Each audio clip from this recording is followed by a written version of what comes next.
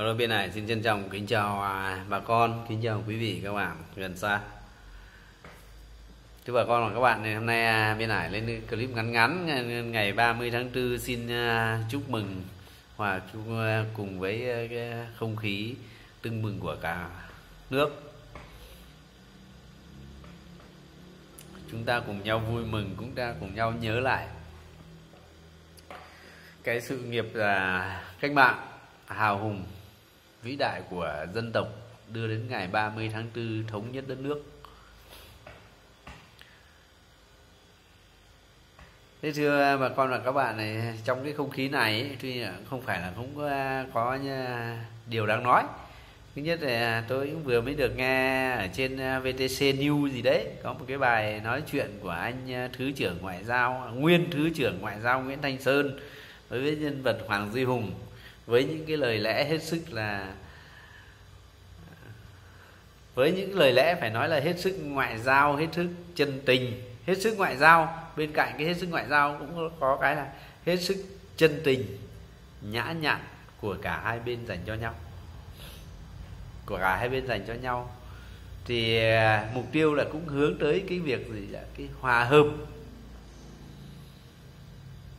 Với cái hòa hợp cái cách đối đãi cái mở lòng của cái con người trong nước với đại diện ngày xưa anh Nguyễn Thành à, anh thứ trưởng ngoại giao Nguyễn Thành Sơn ấy thì từng là vừa là cái trưởng ban người Việt ở nước ờ, ngoài cái công tác đối với người Việt ở nước ngoài với anh ấy là nguyên thứ trưởng bộ ngoại giao rồi anh ấy có quá trình công tác ở, ờ, ở Mỹ rồi là cái việc là gì anh ấy à, sự mạnh dạn sự đột phá và đem lại hiệu quả rất là lớn đối với cái cái cái cái việc thực hiện nghị quyết 36 về công tác người Việt ở nước ngoài của của của Trung ương Đảng ta ấy, thì anh Nguyễn Thanh Sơn này làm rất tốt ở trong cái giai đoạn đó.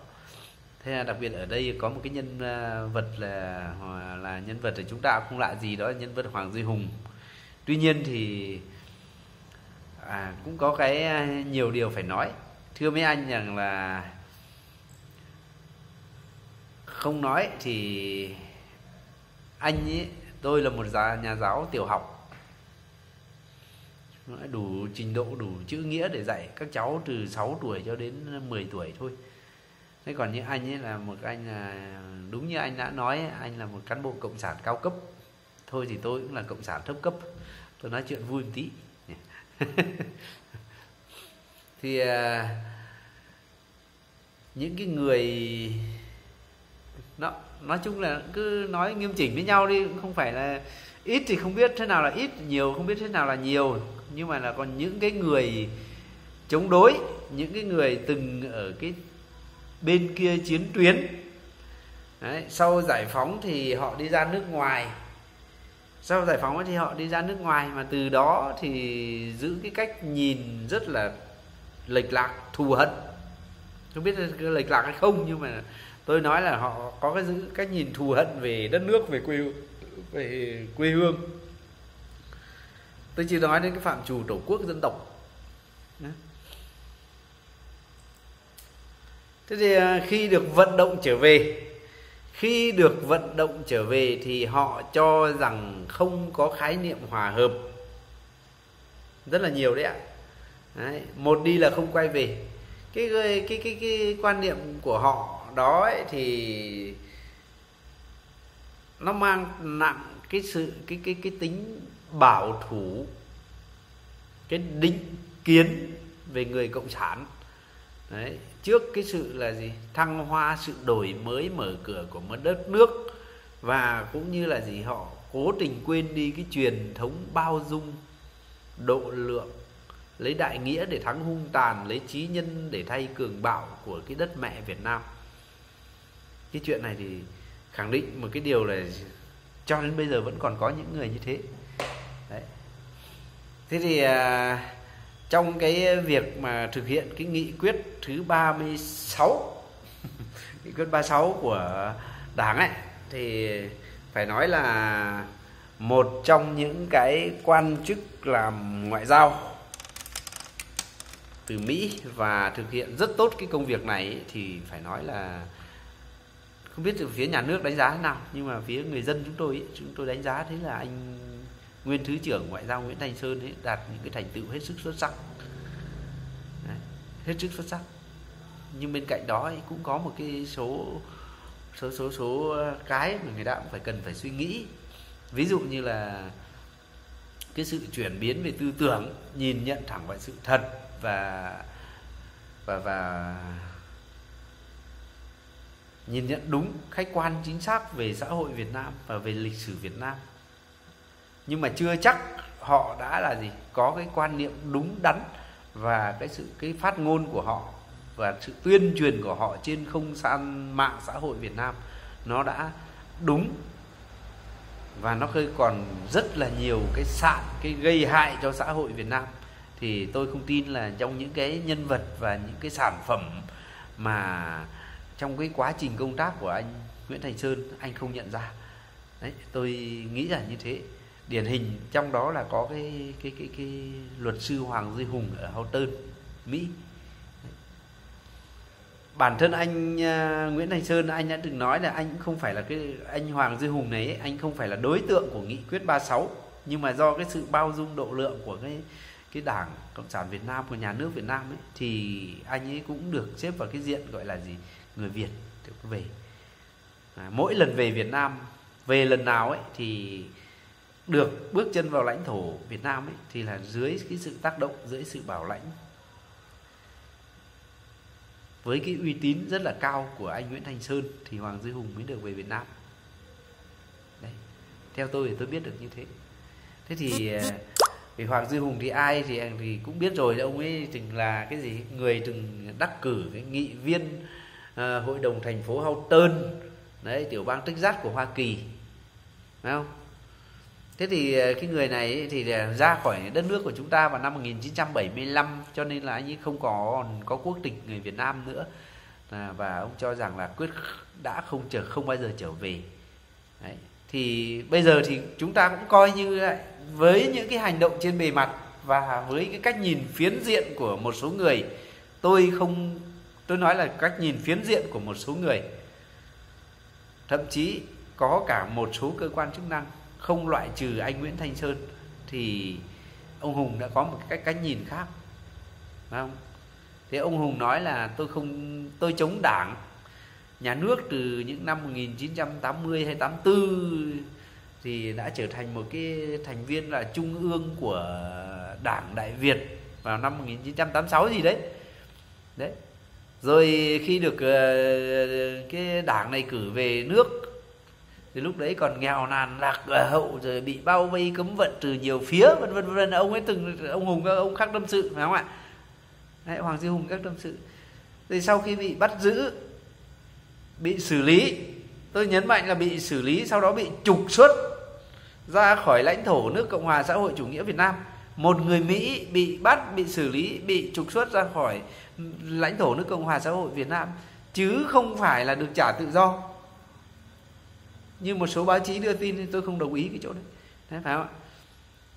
Bị trục xuất đây năm 1993 ấy, thì Hoàng Duy Hùng vẫn còn mang cái tư tưởng chống đối và tiếp tục có rất là nhiều cái cái cái cái hoạt động mà xâm phạm vào cái an ninh uh, quốc gia rồi tuyên truyền rồi viết lách rồi nhiều cái tài liệu nói xấu hạ bệ lãnh tụ vân vân vân vân. Cái này nó còn tồn tại rất là nhiều trên không gian mạng. Tôi không tin là những người như anh Sơn và các cơ quan chức năng không biết. Không? tuy nhiên là ông Hùng ấy trong một hai năm trở lại đây ông nói là quay đầu trở lại bờ. Trên cái trang kênh youtube góc nhìn Hoàng Duy Hùng ấy, anh ấy nói rất là tốt thể hiện cái tư tưởng.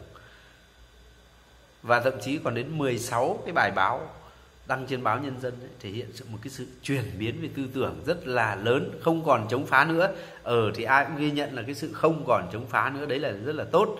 Nhưng bên cạnh đó anh ta lại có những cái luận điệu tuyên truyền và một cái lượng fan hâm mộ từ Việt Nam rất là lớn. Đấy nó đưa ra những cái cái cái chú này chúng ta không không không cần cần cần cần nhắc nhiều rồi là đặc biệt sau cái đợt về ăn tết rồi, rồi vừa rồi ấy. Thì bây giờ ta mới lật lại ờ, cái vấn đề là anh Hoàng Duy Hùng này là như thế nào? Anh Hoàng Duy Hùng này là như thế nào? Thế thì theo như lời anh Sơn nói ấy, thì anh qua quá trình thu thập thông tin rồi báo cáo điều tra thì anh sơn đã quyết định nhắm đến nhân vật hoàng duy hùng này để làm việc. Bên cạnh những cái sự thành công khác ấy thì có lẽ đây là một cái khúc xương sầu khó nhằn nhất đối với anh sơn trong cái cuộc đời ngoại giao của anh. Tôi nghĩ thế phải không? Thế bây giờ đặt vào cái hoàn cảnh đất nước của chúng ta sau nửa thế kỷ chiến tranh rồi thống nhất đất nước rồi thì là cái, cái câu hỏi về sự hòa hợp dân uh, tộc giữa đất nước giữa nhân dân Việt Nam giữa muôn trùng khó khăn rồi đặc biệt là sau cái biến cố 1975 ấy người Việt di cư sang Mỹ sang Âu là một cái vấn đề cực kỳ lớn nhưng khi người ta nghĩ về cái truyền thống sâu xa nhân văn của cái người Việt mình ấy là đánh kẻ chạy đi, không đánh người chạy lại, thì cái sự bao dung, sự độ lượng của đồng bào, của dòng máu lạc hồng chúng ta ấy, luôn luôn phù hợp với cái xu thế hòa bình, với cái xu thế hợp tác toàn cầu hiện nay. Thậm chí đối với những cái kẻ thù lớn như là người mỹ chúng ta còn gác lại hận thù cùng nhau đoàn kết để hướng tới một cái tương lai tốt đẹp, nữa là với những cái con người cùng dòng máu việt. Bây giờ làm sao mà không gác lại hận thù? Hướng về nguồn cội. Đây thì nói chung là không nói thì ai cũng biết, đó là một cái yêu cầu, một cái đòi hỏi hoàn toàn khách quan. Đúng không ạ, thưa mọi người? Thế cái khái niệm hòa hợp dân tộc này nó không phải năm 75 cho đến nay và hàng ngày nay mới đặt ra, nó người ta đặt ra là từ trước rồi, từ năm 1954 rồi đấy. Thế qua nhiều, rất nhiều sử liệu, tư liệu người ta hỏi. Đấy, thế thì cái việc ông Hoàng Duy Hùng được về hay không được về, cái việc này là việc của nhà nước. Nhưng mà đương nhiên là nhà nước đồng ý thì dưới sự bảo lãnh sự tác động, sự bảo lãnh của anh Nguyễn Thanh Sơn thì ông Hùng mình được về bao nhiêu lần. Và tôi thấy hình như các cơ quan chức năng, hình như kể cả anh Sơn, chỉ nhìn thấy những cái gì được phát ngôn trên góc nhìn Hoàng Duy Hùng mà như như thế mà thôi. Cho nên tôi thấy là nó phiến diện, đúng không ạ? Thì đành rằng bây giờ cha anh của anh hùng anh hùng thuộc hệ f 2 gì? Thì cha mẹ anh ấy rồi cái cộng đồng người bên đấy phần lớn phần lớn cái người đi từ cái năm 75 về sau này rồi ờ, một số nữa tôi thấy là cái gì rất là nhiều người người ta đi trong cái bối cảnh nào đi chăng nữa ấy, à, trong cái cái, cái cái cái cái bối cảnh lịch sử cụ thể từ biến cố 75 ấy. Tức về sau này thì tôi chưa nói thế bây giờ là có những phán xét rồi quy chụp rồi thì là nhìn nhận về đất nước vào một cái lăng kính lệch lạc. Nó coi như là màu đen đấy. Thế trong lịch sử của nhiều quốc gia trên thế giới thì những cái việc bộ phận người di cư từ nước này sang nước khác nó cũng bình thường thôi phải không?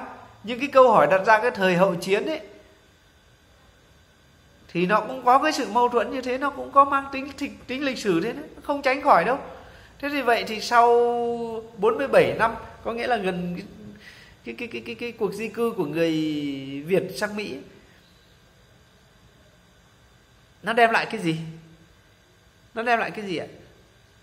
Cũng là một cái vấn đề lịch sử và không phải lúc nào ngồi giả soát lại để mà xem bên này đúng bên kia sai phải không ạ? Mà nó ra cái xu hướng phát triển chung của đất nước. Đấy, bản thân ai cũng biết được cái điều đấy? Điều quan trọng là là người ta phải làm thế nào? Đúng không ạ? Người ta phải làm thế nào thôi? Để hòa hợp được một cách tự nhiên, một cách thiết thực. Để người việt dù ở bất cứ nơi đâu, bất cứ thành phần nào, bất cứ địa vị nào, cũng đều hướng về tổ quốc, đều hướng về đất mẹ Việt Nam, đều vì đoàn kết, vì tương lai của đất nước, của dân tộc. Cái việc này tôi không nói thì các anh cũng biết phải không ạ? Cái cốt yếu nhất trong cái điểm cái cái cái hòa hợp dân tộc chính là cái gì? Cái cái cái cái cái cái, cái quan điểm gọi là người mẹ. Mẹ Việt Nam đấy như ông Hoàng Duy Hùng ông hay nói. Con cái có thể ruồng bỏ cha mẹ mình mà đi nhưng trong trái tim của mẹ là nó bao la mênh mông nó là vô tận nó là cái suối nguồn không bao giờ vơi cạn đối với con cái. Người mẹ thì bao dung, bao giờ nó cũng như thế. Nó bao dung, nó độ lượng, nó tha thứ cho tất cả. Đấy. Thế thì như vậy thì những cái đứa con bỏ đi dù với cái hoàn cảnh nào ấy, thì thì nó nhận ra lẽ phải, nó quay trở về đó là một cái điều đáng quý, đúng không? Tôi thấy nó rất là có những cái đối với anh Hoàng Duy Hùng này nói thì thì căn cứ ở trên cái quan điểm như thế thì cái cái truyền thống của dân tộc hay là cái truyền thống truyền thống của cái sự bao dung độ lượng của một cái dân tộc rất là trọng nữ quyền như người Việt Nam, tôi nói đến người mẹ Việt Nam là như thế. Thế cái tổ quốc chúng ta đang rộng vòng tay đối với người Việt ở khắp nơi trên thế giới, nó không chỉ là những cái cuộc gặp gỡ tiếp xúc nó cũng không phải là cái sự xã giao, mà nó đã trở thành cái gì ạ? Mà nó trở thành một cái chủ trương, thành một cái đường lối chính trị rõ ràng như là đảng đã khẳng định là ở trong nghị quyết 36 ngày 26 tháng 3 năm 2004 đấy. Thì người ta nói rõ mà. Nói rõ cái gì ạ? Nói rõ chứ, xóa bỏ mặc cảm, định kiến, phân biệt đối xử. Do quá khứ hay thành phần giai cấp do tinh thần cởi mở tôn uh, trọng thông cảm và tin trọng lẫn nhau hướng tới tương lai. Mọi người Việt Nam không phân biệt dân tộc tôn giáo tôn giáo này uh, xuất thân địa vị xã hội rồi là kể cả lý do ra nước ngoài nữa mong muốn góp phần hiện thực. Những cái mục tiêu để mà xây dựng xã hội Việt Nam tốt đẹp ấy, đều được tập hợp trong khối đại đoàn kết dân tộc. Cái này nghị quyết 36 nêu rõ đấy thế thì dù bây giờ có một cái sự chuyển biến trong nhận thức trong hành động ấy thì tất nhiên là bộ phận dân cư nào cũng thế rồi không người ta à, không ai cực đoan đến chỉ có một số rất là ít ít ít, ít cực đoan đến tận cuối cùng thôi. Thì cho đến nay sau gần sau 47 năm gần 50 năm chấm dứt chiến tranh giải phóng miền Nam thống nhất đất nước ấy, thì cái vấn đề hòa hợp vẫn còn. Những cái điều chưa được khỏa lấp đâu. Anh Sơn ạ anh là người người hiểu rõ như thế. Phải không? Thì cái cộng đồng người Việt ở Hoa Kỳ ấy, vẫn còn đó những cái người chống đối sự nghiệp xây dựng phát triển đất nước Việt Nam. Thậm chí chống đối quyết liệt không thay đổi được nhận thức về của mình đâu. Họ truyền bá những cái tư tưởng rất là sai lầm rất là lệch lạc cho con cái định hình một cách là gì ạ? Lệch lạc thù hận về cái nơi vốn là cái gốc gác cái tổ tiên của mình cái điều này chính là cái điều mà cái gì? Cái bài báo an ninh thế giới ra ngày 26 an ninh cuối tháng ấy, ra ngày 26 tháng 4 vừa rồi, người ta viết rõ ràng như thế. Phải không? Tôi nói thực sự là một cái điều như thế. Ví dụ như ai? Ví dụ như một cái nhân vật anh kỳ vọng rất là lớn, đó là hoàng duy hùng. Ở trên trang góc nhìn hoàng duy hùng, tôi nói các anh phiến diện vì sao? Hoàng duy hùng nói ở trên cái kênh góc nhìn hoàng duy hùng rất tốt. Nhưng trên fan và góc nhìn hoàng duy hùng, hắn đưa ra những cái quan điểm vô cùng sai trái lệch lạc. Từ ngày xưa đến nay, chưa hề có một sự đính chính, chưa hề có một sự xin lỗi. Xuyên tạc hạ bệ lãnh tụ. Đấy, đánh bật ra cái tư tưởng dân tộc. Ví dụ như xếp Hồ Chí Minh vào là một người có tư tưởng dân tộc xóa bỏ hết cái gì cái gì gọi chủ nghĩa cộng sản đấy đi ra khỏi cái tư tưởng Hồ Chí Minh, nó không biết ở cái chỗ đấy. Sau đó là gì? Đổ tội là nào là cuộc thảm sát nào là kia. Và đặc biệt gần đây nữa, sau cái cuộc đi về Việt Nam, nhiễu sự nhiễu sự rất là nhiều. Sau khi về Việt Nam, bây giờ sang Mỹ, vài ngày trở lại đây xin lỗi các anh bây giờ tôi không biết là lấy cái gì để đưa ra làm minh chứng cho các anh. Xin mời các anh vào những cái trang kênh nhà của Hoàng Duy Hùng ấy. Tôi không đưa ra nữa đâu. Đấy cho anh Nguyễn Thành Sơn anh cứ xem. Hắn nói rằng gì ạ? Từ năm 1954 đến năm 1975 ở Việt Nam có hai quốc gia, và Việt Nam Cộng Hòa là một quốc gia độc lập. Và hắn nói rằng, ai nói rằng giai đoạn này có một ở Việt Nam chỉ có một quốc gia, đó là tội đồ dân tộc. Tôi hy vọng là những cái điều này nó được đến được tai anh Nguyễn Thanh Sơn. Vậy thì ai là tội đồ dân tộc, thưa ông cộng sản cao cấp Nguyễn Thanh Sơn? Ông còn là thế hệ sau nhé. Phải chăng cái vị lãnh tụ vĩ đại của dân tộc chúng ta là bác hồ chí minh? Với toàn bộ đảng cộng sản việt nam bao nhiêu thế hệ, rồi bao nhiêu xương máu của các anh hùng liệt sĩ dân tộc này đi kháng chiến chống Mỹ cứu nước ấy. Đó là tội đồ của dân tộc, thưa ông Nguyễn Thanh Sơn. Tôi muốn hỏi ông một cái số vấn đề nho nhỏ đó thôi. Nếu như ông không phải là một cái người đã từng công tác trong ngành ngoại giao có thâm niên thì tôi, hôm nay tôi sẽ chửi ông đấy là cái đầu rước giặc vào nhà. Nhưng mà bây giờ hôm nay tôi không chửi. Tôi chắc chắn tôi không chửi. Cho nên tôi như thế. Ngày 26 có cái bài báo này nhưng mà ngày 28 tôi vẫn thấy ông nói chuyện với Hoàng Duy Hùng một cái điệu rất là rất là tốt. Tất nhiên là tên trên tinh thần xây dựng thôi. Nhưng đối với những cái con người như thế này ấy, nó phản phúc như thế này ấy, thì ông dễ đến cái tình trạng là rước giặc vào nhà. Thực sự đấy tôi nói thẳng với ông Nguyễn anh Sơn là những cái tình trạng như này, ông dễ tới cái tình trạng rước giặc vào nhà. Cho nên kết thúc cái bài báo sự bao dung của đất mẹ thì người ta mới viết thế này này. Hơn lúc nào hết, những người con ở xa đất mẹ cần nhìn nhận rõ truyền thống và xu hướng thời đại vượt ranh giới để đoàn kết hướng về nguồn cội bằng tất cả sự chân thành hòa hợp. Chứ không phải là đưa ra những điều kiện để đong cân đo, đong đếm thương lượng, hay mặc cả thương mại, hay là ý đồ không trong sáng. Cái không trong sáng ở đâu? Không trong sáng nó chỉ cho nó chửi cho tất cả những cái đảng viên ở trong nước, những cái người lên mạng xã hội phản biện nó. Trong đó có người cộng sản cao cấp như anh Nguyễn Thành Sơn. Còn trong đó là cái tư tưởng chính thống của đảng cộng sản Việt Nam. Xưa nay chưa có, bao giờ có hai nước Việt Nam. Đảng này là tội đồ của dân tộc. Anh Nguyễn Thành Sơn, anh nâng đỡ cho nó cũng là tội đồ của dân tộc. Vậy thì anh bảo chúng tôi hẹp hòi ở đâu? Cái người chưa hiểu, còn định kiến, chưa hiểu, chưa hẹp hòi, định kiến ở đâu? Nó bảo trường sa là vô chủ, mọi người cướp lấy. Nó đòi lấy cái chính danh là việt nam cộng hòa là một quốc gia. Ai bảo là giai đoạn này Việt Nam chúng ta chỉ có một nước Việt Nam thôi, không không có hai nước Việt Nam ấy. thì là tội đồ của dân tộc đấy. Thưa anh Nguyễn Thanh Sơn đấy tôi, tôi, tôi nói chuyện đơn giản bình tĩnh như thế thôi. Bởi, bởi vì tôi là cái trình độ nhà giáo tiểu học thôi tôi không không không không cần đấy. Đây chính là cái bài báo an ninh cuối tháng người ta nhắc nhở như thế đấy. Trước khi anh nói chuyện với Hoàng Di Hùng vào ngày 28 tôi nói chắc như thế. Hy vọng rằng anh cũng nghe được cái bài này. Đấy, xin trân trọng kính chào anh.